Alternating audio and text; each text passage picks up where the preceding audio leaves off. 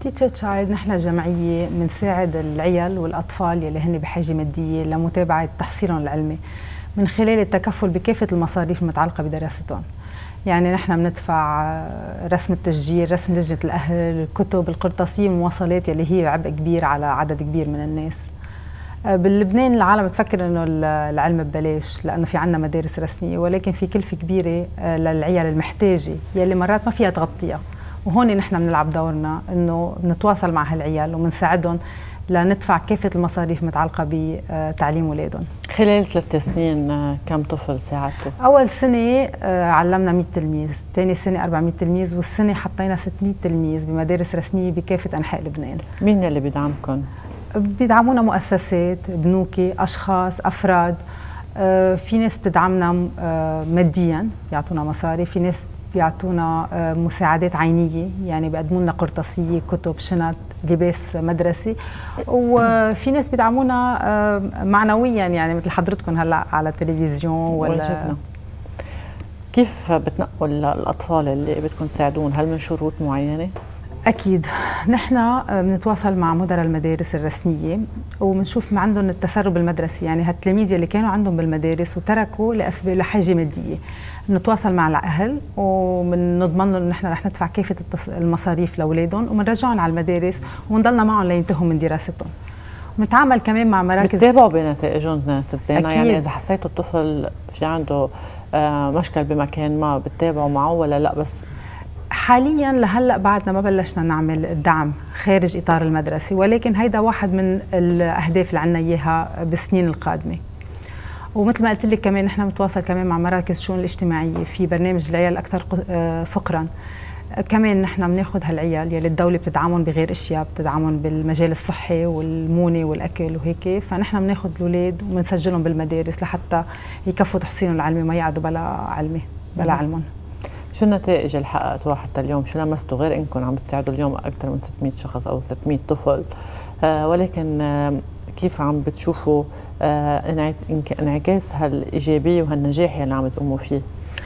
آه شوفي نحن بعد صرنا ثلاث سنين يعني بعد ما لمسنا ثمرة شغلنا ولكن إن شاء الله بهالكم سنة بنلمسها ليش ما نكون للضوء؟ بس ليش ما طالعين على الضوء؟ يعني ما ما طالعين كثير هلا يعني صرنا يعني يلا أنا بالصدفة هيك أي. عم بقرأ الخبر قلت شو هالجمعية هيدي المهمة إنه يعني عم تشتغلوا عمل خيري كثير حلو وما عم تسلطوا الضوء عليه بلا شوي شوي عم نسلط الضوء هلا مثل ما أنت قلتي يعني طلعنا على كذا تلفزيون كان عندنا الإيفنت تبعنا كان كثير كبير 600 شخصية حضرته وراح يتغطى وتغطى من كافة وسائل الإعلام.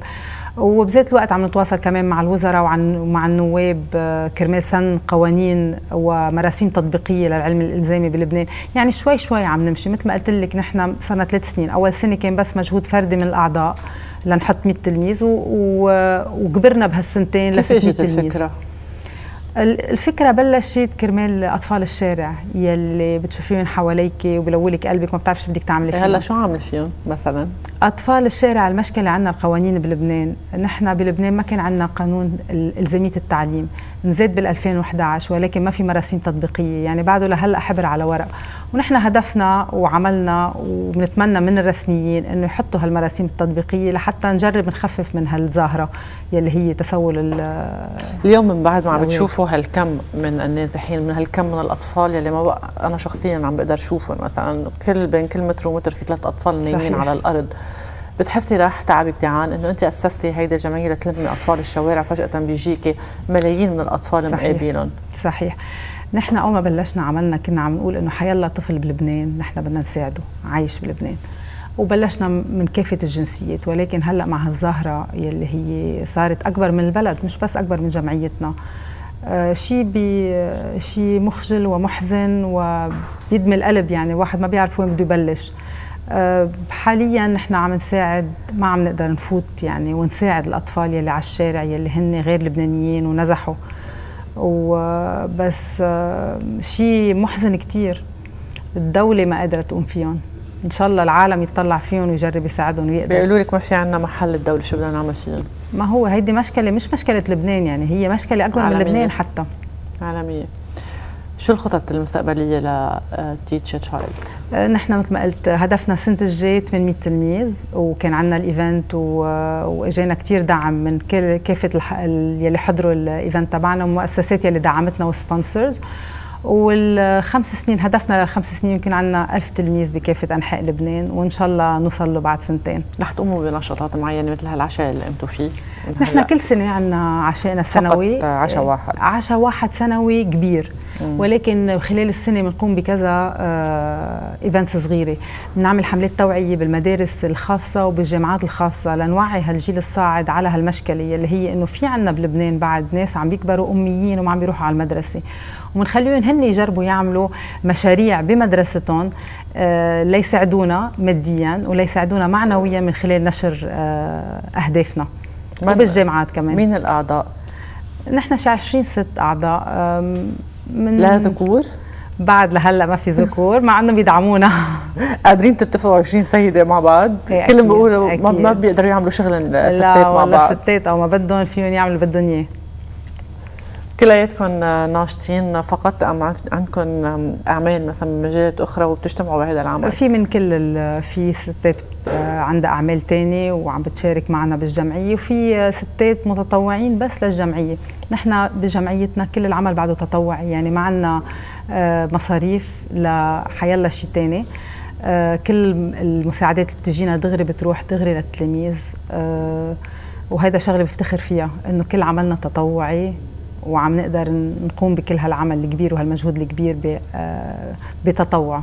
المساعدات ما بتميز بين طفل وبين منطقة؟ واصلين لكل لبنان. نحن آه، بنعطي دعمنا بمعزل عن الدين عن الجنس عن المناطق وعن التحصيل العلمي. يعني حتى لو ولد في عندك جمعيات بتساعد إذا ولد متفوق ولكن نحن بنساعد الولد حتى لو ما كان متفوق حتى لو كان عنده صعوبات تعليمية. لأنه كل ولد بحق له أنه يروح على مدرسة ويتعلم. كل ولد بحق له على القليلة أنه يكون بمحيط بعدكم عم تحكوا عن التحرش الجنسي بمحيط صحي سليم يقدر يكون بعيد عن الشارع وعن الرذيله وعن يتعرض لكافة أنواع الأخطار. في عندكم رسائل معينة بالجمعية أو أهداف آه، راسمينها؟ يعني هدفنا مثل ما قلنا إنه نقدر نحط قد ما فينا التلاميذ بالمدارس لحتى نطلعهم يقدروا يبنوا هن مستقبلهم. وهدفنا الهدف كل إنسان يمكن بلبنان إنه يصير قد سعيده إنك عم تعملي هذا الشيء أكيد شيء بنفتخر فيه يعني أو ما بتروحي وبتشوفي هالتلاميذ اللي صار لهم معنا ثلاث سنين يلي هول كانوا من قبل أميين ما راحوا بحياتهم على المدرسة بيهم أمي. بتتواصلوا معهم على صعيد شخصي؟ بنتواصل لأنه مثل ما عم بقول لك نحن بعد عملنا كله تطوعي. نحن عم نكون فيه نحن عم ننزل على الأرض ونحن عم نشوف التلاميذ وعم نسجلهم نحن عم نلتقي فيهم ونحن عم ندرسهم فايلاتهم. فأكيد فيها فيها فخر فيها اعتزاز كثير وفيها قربة. يعني هن بحسوا إنه في ملجأ معنا. آه، هالأشخاص يلي ما كانوا الأهل يلي ما عندهم حدا مرجعية يروحوا لعندها ويطلبوا مساعدة. عم بحسوا إنه صار عندهم مرجعية على القليله تامن لهم مستقبل اولادهم وعلم اولادهم بدي أتمنى لكم كل التوفيق شغلكم كثير حلو. الله يكون معكم وإن شاء الله بتكبر هالجمعية وبتقدروا تساعدوا أكبر عدد من الطلاب وتتوسعوا بغير أمور تعنى بالطالب وبمصلحته. شكرا لك مشاهدينا بريك ومنتابع